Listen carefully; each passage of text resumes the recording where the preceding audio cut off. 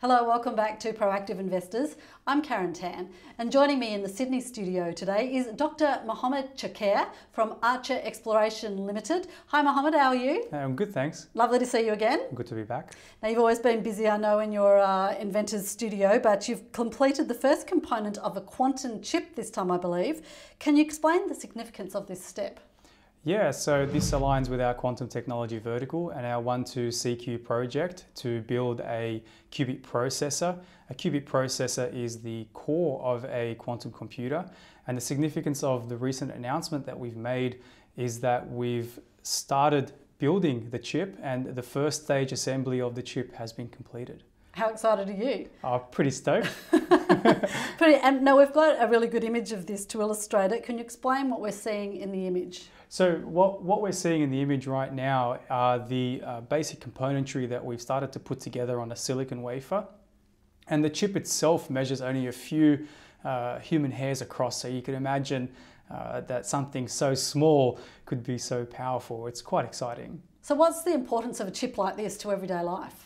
So I don't think I can overemphasize the importance of getting it right. Uh, and you know, if we end up building a chip like this and, and having quantum computing available at room temperature and being easily integrated into modern technology, it means just that, that businesses and consumers would have access to technology um, that's powered by quantum computing. And it has the potential to service industries reliant on AI, service industries reliant on blockchain, and, and cryptocurrencies and security. So there's a, a, very big potential for it to, to impact global markets.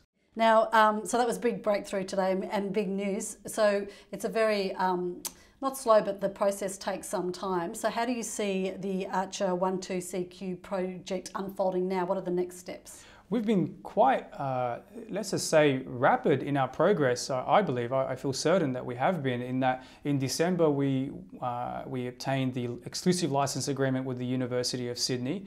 Uh, in Feb in December last year. In February, we we brought on board.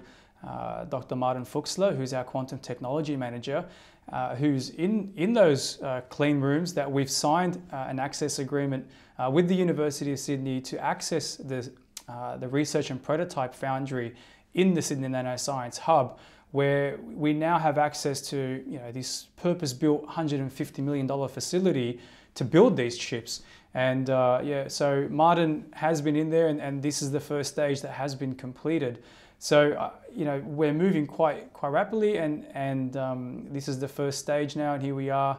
Uh, just before uh, the end of the financial year. Uh, pleased to report to, to our shareholders that we've completed the first stage of development. Absolutely, and I wasn't suggesting that it was slow to get to this stage. More that um, it's a, it's great that you're at this stage, but now we've got a lot to um, to unfold in, in, a timeline ahead. Mm. So, what do you see as the timeline unfolding uh, in the next 12 months, for example? Well, it's a lot easier for us now to talk about this that we have something tangible. Uh, like I said, this chip is the size of a few human hairs.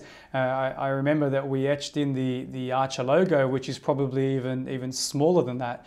Uh, so uh, over the next quarter uh, in Q1, uh, we'll be looking to continue uh, that technology de-risking through the value-added development. And this is absolutely critical, uh, especially as we move into discussions with potential uh, commercial partners uh, along the product stack, uh, whether it be software developers or original equipment manufacturers uh, from you know highly resourced organizations or SMEs around the country and the world. So it's quite exciting for us, and, and we're really looking forward to uh, the next three, six, nine, and, and 12 months. So it is a very specialised project you're working on and a specialised company really. What sort of investors would be interested in investing in Archer? Well, Archer provides shareholders uh, exposure to innovative technologies like quantum technology, like quantum computing, and importantly, the advanced materials that underpin these technologies. Excellent. Well, uh, any other news flow that we can expect in the new financial year at this point? Well, uh, at the moment, uh, we, we, will continue working on uh, developing the, the chip uh, and, and putting those pieces together. And of course, just like if you bought a house off the plan, you'd like to see progress with the house being built. And so we'll, we'll update uh, as and when that information is made available to us, and, and we'll get there uh, as soon as we can. We look forward to it. We look forward to seeing how it unfolds um, every step of the way. So lovely to hear your update today, and thanks for your time. No problem, my pleasure. That's Dr. Mohammad Choucair from Archer Exploration Limited.